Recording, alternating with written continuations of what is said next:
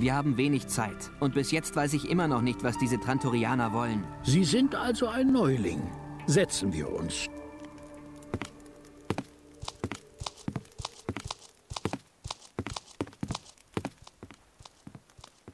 Trantor.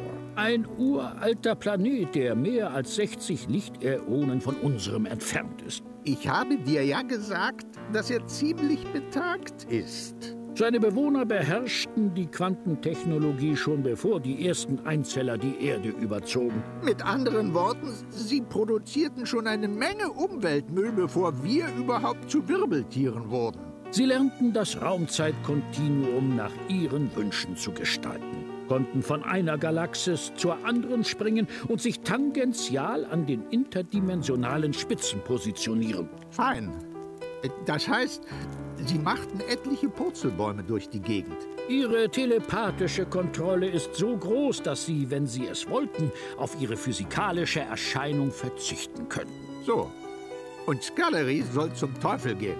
Wie Sie sich also vorstellen können, ist Ihre Zivilisation der unseren unermesslich weit voraus. Die können sogar Latein, die Freunde. Sie könnten etliche Solarsysteme versklaven, wenn sie es wollten, und uns mit bloßen Gedanken in nichts verwandeln. So, Sie könnten uns mit Ihrem Gehirnschmalz frittieren. Das gibt einem zu denken, oder? Aber es scheint, dass Sie lediglich an einem intergalaktischen Zoo interessiert sind. Lediglich. Was war das? Was? Ein Zoo? Wunderbar, nicht wahr? Sie bereisen das Universum und sammeln Tiere. Sie bringen sie dann zu einem Planeten, der dreimal so groß wie die Erde ist einem riesigen Zoo, in dem völlig unterschiedliche Ökosysteme aus diversen Galaxien und Zeiten erhalten werden. Während der Reise versetzen sie die Tiere in einen lethargischen Zustand, den sie den Schlaf nennen. Nein, am Ende lässt sich festhalten, dass man mir nie etwas erklärt. Weiter noch.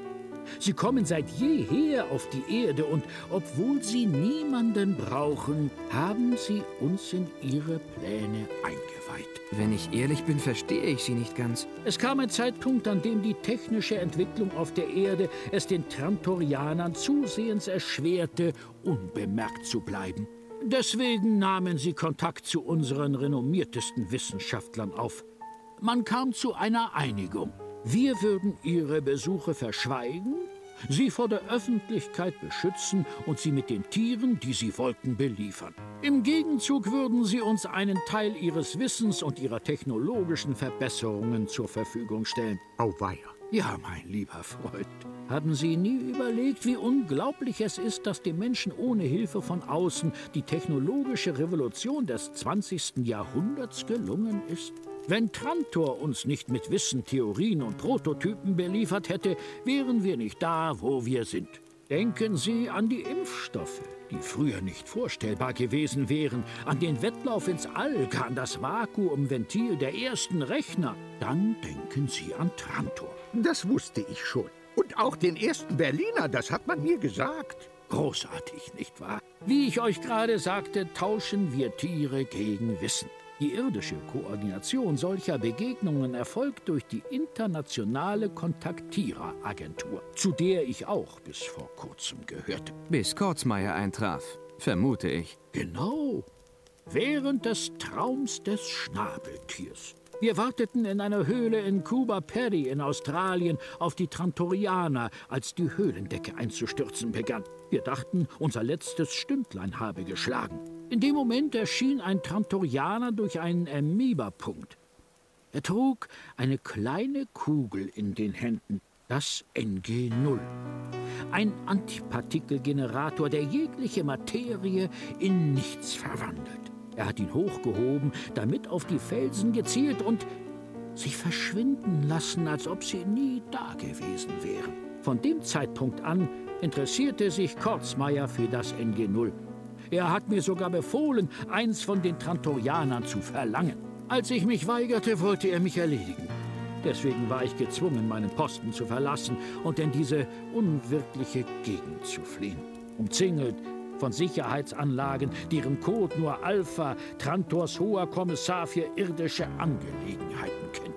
Und jetzt ihr natürlich. Mittlerweile ist klar geworden, dass Kurzmeier es geschafft hat, ein trantorianisches Raumschiff in Schwierigkeiten zu bringen. Sie haben solche Probleme, dass sie es gewagt haben, eine Nachricht durch Joshua zu senden. Oh, die Nachricht. Bei dem ganzen Hin und Her hatte ich sie völlig vergessen. Hier, Simon. Was ist das? Nehmen Sie meine Hände und Sie werden sehen. Leise, Joshua. Johoho. Ja.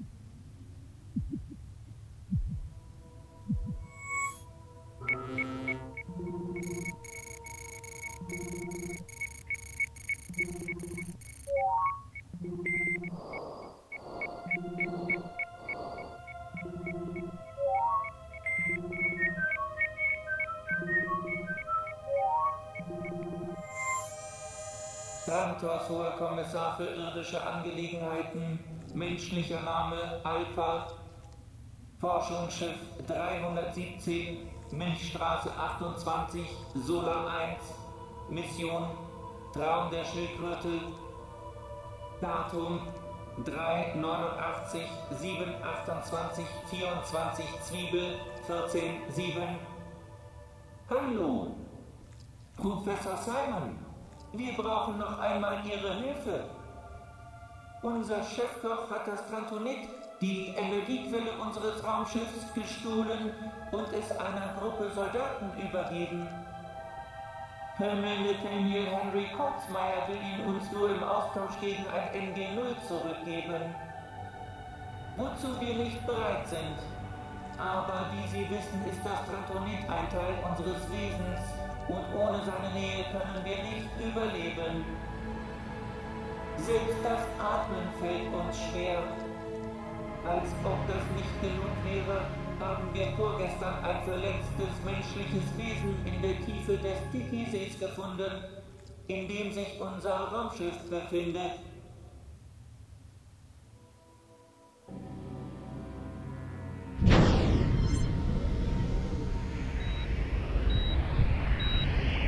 Gina. Sie lebt noch.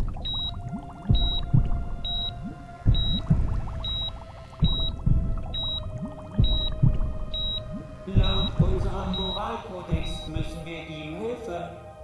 Unter normalen Umständen hätten wir es sofort geheilt. Aber ohne den Stein können wir es nur in künstlichem Schlaf halten. Und das zerrt an der wenigen Energie, die uns bleibt. Es gibt jedoch eine Rettungsmöglichkeit, Professor James Simon. Vor einigen Jahrhunderten zerschellte eines unserer Raumschiffe in der Nähe einer Stadt, die heute als Palenque bekannt ist. Es kann sein, dass dessen Energiestein sich noch dort befindet. Professor Simon, finden Sie den Stein und einen Weg, ihn uns zu bringen.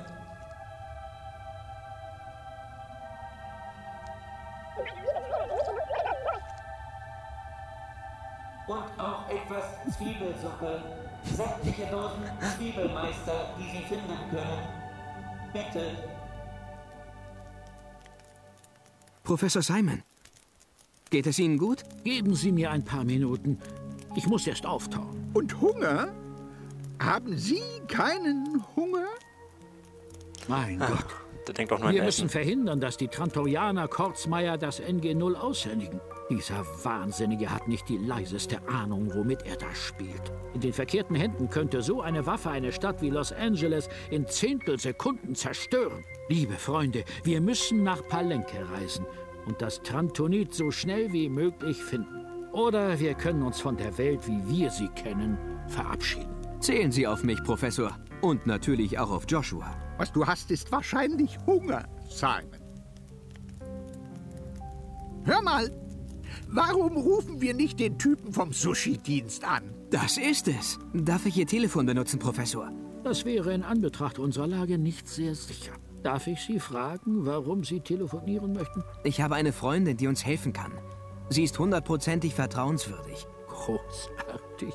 In dem Fall würde ich Ihnen empfehlen, an meinem Laptop den hackersicheren Krypto-Chat zu benutzen. Sofern Ihre Freundin gerade online ist, wenn ich das hinzufügen darf. Keine Sorge. Wenn ein einziger Mensch auf der ganzen Welt online ist, dann ist es Sushi Douglas. Ich habe keine Ahnung von Chats. Aber das ist klar. Auf Trantor unterhält man sich vor allem telepathisch. Hallo Sushi, bist du da? Die Trantorianer sollen kein Internet haben? Wie glauben Sie denn, könnte uns Alpha sonst das Datum für das nächste Treffen mitteilen, wenn nicht durch E-Mail? Mehr noch, nachdem wir die E-Mail gelesen haben, chatten wir noch eine Weile www.planet-trantor.com. Wir geben unseren Code ein und dann legen wir die Details unserer Operation fest. Das ist ja fein. Und mir hat niemand ein Wort darüber erzählt. Das tut mir wirklich leid, mein lieber Freund. Und wo haben Sie gedacht, wurde das Netz der Netze konzipiert? In einem menschlichen Gehirn? Nein. Sie waren es, die uns lehrten, es zu erstellen und zu benutzen. Was ich nicht verstanden habe, ist, wie Sie sich aus anderen Sonnensystemen hereinklicken können. Vielleicht benutzen Sie Neutrinotransduktoren, wie in dem großartigen Roman von William Garza. Haben Sie es? Das Buch kostet fünf Riesen, mindestens. Haben Sie etwas von Sean Russell? Nathan? Was ist los, verdammt nochmal? Wirst du es denn nie schaffen, den verdammten Typen zu finden? Kleiner Soldat. Mein Spinnennetz ist dabei, ihn und den Mönch zu ersticken. Rat mal, wer mit von der Partie ist. Dein alter Freund Simon. Simon? Ja. Ich wusste, ich würde ihn irgendwann erwischen. Verdammter Wissenschaftler. Gut, erledige sie und komm auf der Stelle nach Marder. Weiß, wie ich ihn dazu zwingen kann. Mit jeder Minute nähern wir uns der großen Party. Kate Dick, den ganzen Asimov und natürlich das gesamte Werk von Brian Scullery. Ah, was macht der bescheuerte Typ in deiner Bibliothek? Ich verrate Ihnen ein Geheimnis. Wenn Sie den dritten Band seines Werkes herausnehmen, sein gemeines UFO-Lügen und das Erbe des Houdini, werden Sie merken, wie es sich vor Ihren Füßen öffnet. In Professor Simons Haus. Und zurzeit endet meine Geschichte hier. Das ist ein unglaubliches Abenteuer. Aber rechne mit mir. Was soll ich tun? Überleg mal, du Galgenvogel. Während du den Abzug betätigst, stecke ich meinen Finger in den Lauf. Ich werde meinen Finger verlieren, aber die Zentripetalkraft wird das Geschoss nach hinten fliegen lassen. Wobei die Geschwindigkeit etwa neunmal höher als die Anfangsgeschwindigkeit sein wird. Die Waffe wird in die Luft fliegen und du dein zukünftiges Leben ohne Unterkiefer verbringen müssen. Ist das wirklich wahr? Ich wusste, dass du ein Idiot bist. Oh, ich bringe ihn um! Ich bringe ihn um! Tu's nicht. Er hat dir befohlen, es zu tun. Man bezahlt uns nicht für den hier, sondern für die da drin. Beeilt euch lieber. Bald werde ich anfangen, Weihnachtslieder zu singen. Ist der Spion aus Hawaii schon angekommen? Noch nicht, Tarantula. Ich langweile mich langsam. Sie sind schon Stunden da drin. In Ordnung. 18? Erledige die zwei. Dann holen wir uns den Spion. Welchen soll ich zuerst erledigen? Den Clown? Nein, der Opa ist wichtiger.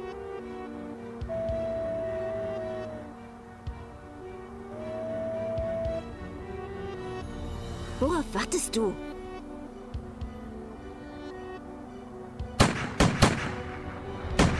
Das Erbe des Houdini. Joshua, rein. Fliehen Sie weiter. Und Sie?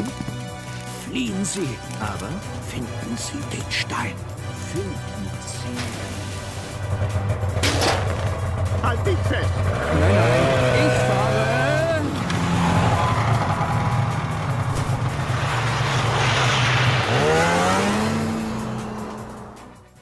Brian? Bist du da? Ist alles in Ordnung?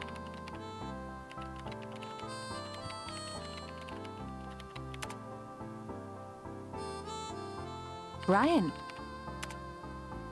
Da stimmt was nicht. Wir müssen sofort aufbrechen. Ach ja. Das waren noch Zeiten. Runaway 1.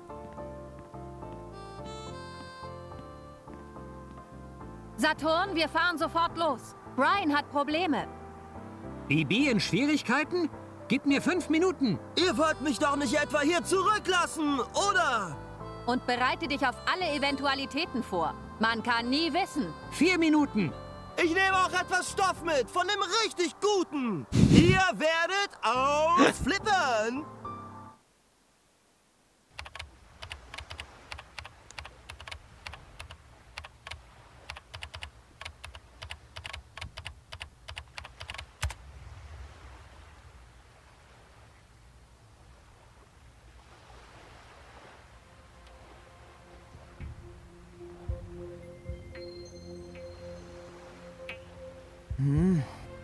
Bin ich?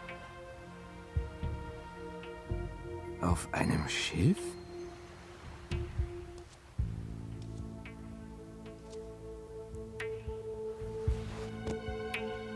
Oh, mir tut alles weh.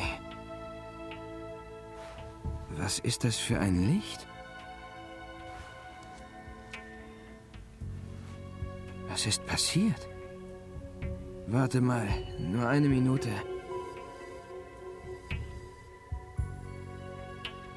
Mal sehen. Ich floh mit Joshua auf Professor Simons Schneepflug. Wir fuhren nach Sisley, von dort aus nach Anchorage, wo wir einen Flug nach San Diego nahmen, weil wir uns dort mit Sushi verabredet hatten. Und danach? Ich weiß es nicht. Ich kann mich an nichts mehr erinnern. Ich weiß jetzt nur, dass ich mich fühle, als ob ich drei Tage lang geschlafen hätte. Joshua ist verschwunden und was soll ich jetzt tun? Ja. Und hier sage ich erstmal, endet die fünfte Aufnahme von Runaway. Wir haben das vierte Kapitel, glaube ich, geschafft. Und ja, das nächste Mal geht es an fünfte Kapitel, wo wir jetzt sind. Und ja, wir sehen uns dann auf jeden Fall dann wieder beim nächsten Mal. Und bis dahin wünsche ich euch noch viel Spaß mit dem Angucken. Und wir sehen beim nächsten Mal. Bis dahin. Ciao, ciao.